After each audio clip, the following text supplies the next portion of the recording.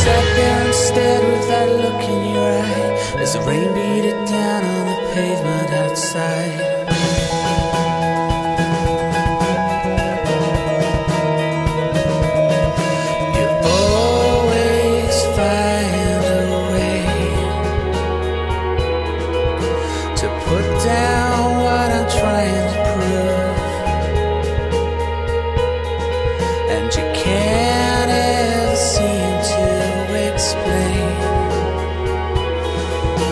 about